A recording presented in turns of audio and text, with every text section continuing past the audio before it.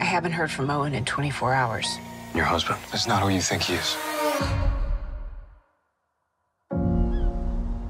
What defines you? What defines you? I ask first. There's nothing I wouldn't do for my daughter.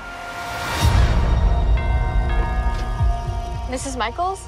Mr. Michaels asked me to give this to you.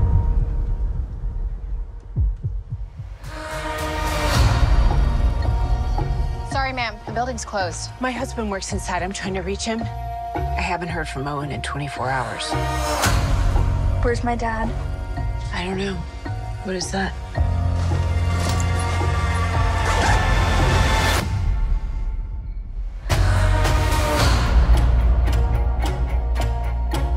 You okay?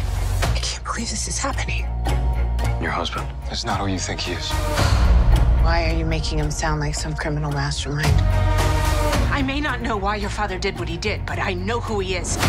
He lied to me, and then he disappeared, and I want to know the truth. I'm telling you, we'll find him.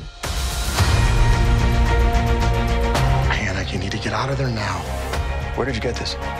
Tell me who sent you. Go now! Hannah and her stepdaughter are in imminent danger. Is there something you're not telling me?